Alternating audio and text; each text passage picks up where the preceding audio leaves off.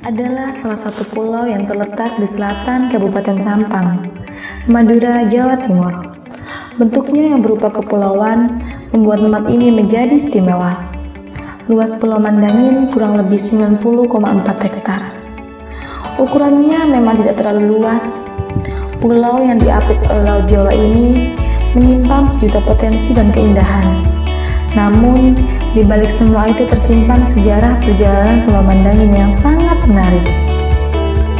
Masyarakat sekitar percaya dan meyakini akan adanya kisah Raga Patmi dan Bagaskara yang tewas dengan kesetiaan di pulau tersebut. Adanya nama Pulau Mandangin berasal dari kisah Pati yang terkenal dengan sebutan Bagaskara.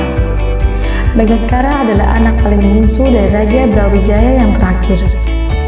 Nama asli dari Bagaskara adalah Aryo Pratikal. Dahulu kala, Bagaskara memutuskan untuk menjadi pati raja tersebut.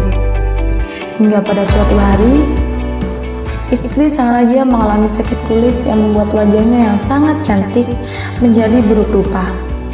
Hingga pada akhirnya, ada dua pati yang menghasut sang raja untuk membuang istrinya. Tapi pada saat itu, Bagaskara memutuskan untuk membawa sang istri yang bernama Raga Patmi tersebut untuk pergi ke istana bersamanya dan mencari obat bagi penyakitnya. Dibawalah Raga Patmi oleh seorang Bagaskara ke sebuah pulau yang ada di Sampang. Berbagai cara telah dilakukan untuk menyembuhkan penyakit Raga Patmi. Hingga pada akhirnya, Raga Patmi pun bisa disembuhkan. Kemudian menikahlah mereka berdua. Mendengar berita tersebut bahwa Raga Patmi telah sembuh, maka kedua pati yang serakah itu pun menghasut kembali raja untuk mengambil Raga Patmi dengan niatan untuk mengadu domba antara raja dengan Bagaskara.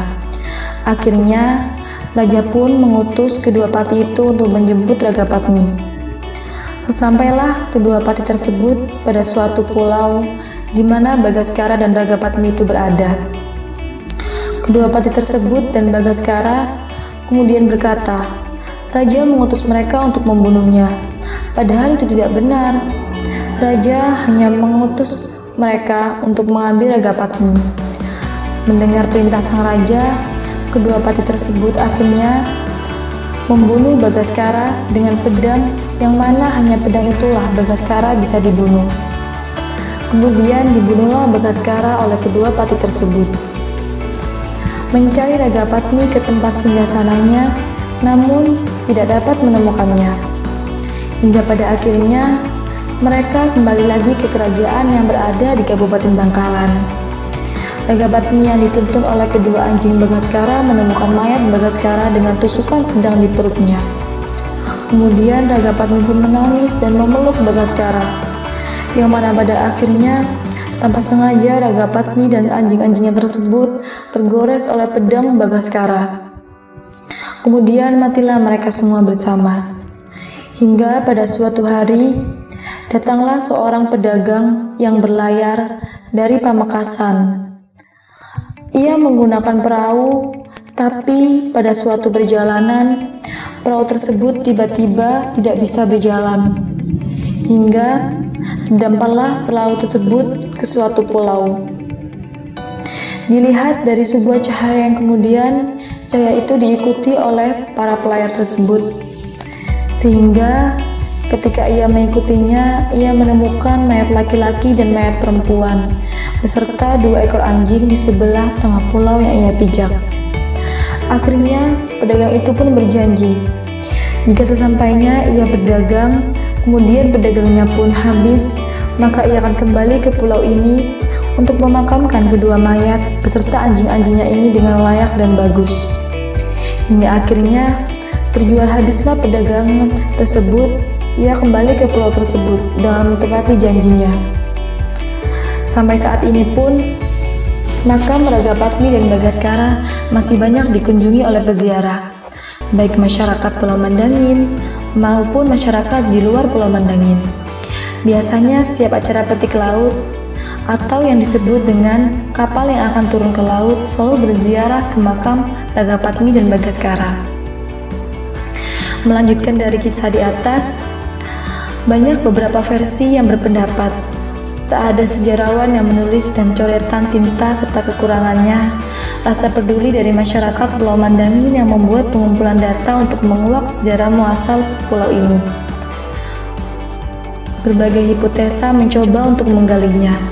Meski terkadang datang dari rekayasa ilmiah yang letak kebenarannya jauh dari kata sempurna. Data-data yang berserakan dimodifikasikan dengan berbagai sampel dan digali dari beberapa tokoh masyarakat Pulau Mandangin. Sebelumnya, mereka memang pernah memikirkan untuk menggalinya, meskipun itu hanya tercatat di pikirannya, bukan dalam bentuk tulisan. Raja-raja pada zaman dahulu kala, ketika mendapati masyarakatnya melakukan tindakan yang menyalahi aturan, kerajaan yang sangat fatal raja-raja tersebut tidak segan-segan untuk membuat dan membuangnya masyarakat tersebut ke pulau-pulau kecil yang tak berpenghuni. Salah satunya adalah Pulau Mandangin.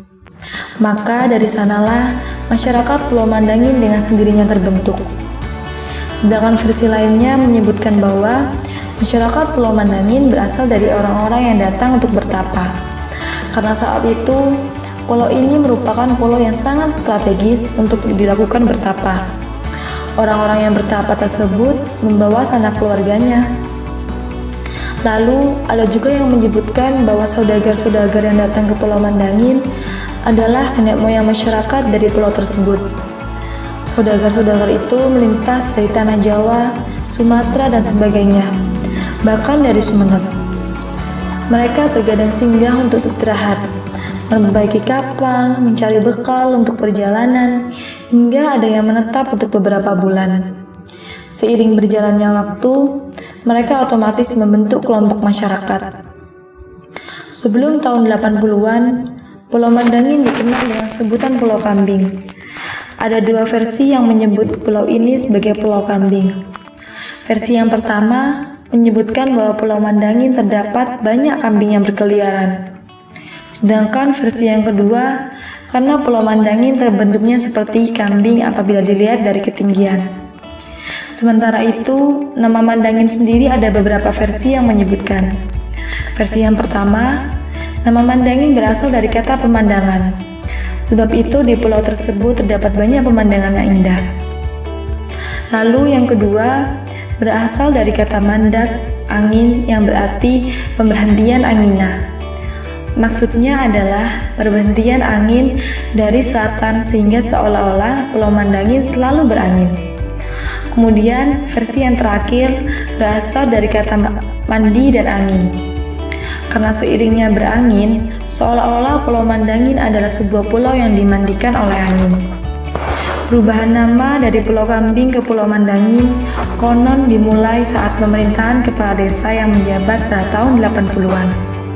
Nama Mandangin sampai sekarang sudah diakui oleh pihak pemerintah Kabupaten Sampang hingga nasional.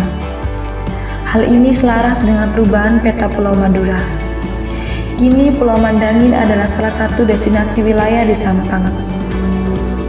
Wilayah ini menjadi tempat wisata yang sangat indah karena keindahan alamnya layak dikagumi.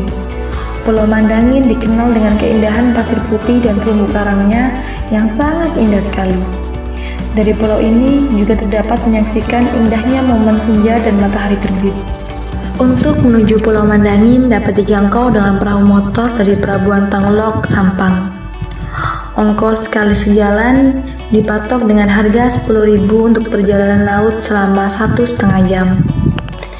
Terima kasih telah menyaksikan video ini dan semoga bermanfaat Jangan lupa di subscribe di channel Putra Mendangin dan jangan lupa di like dan dibagikan videonya agar semua orang tahu. Terima kasih.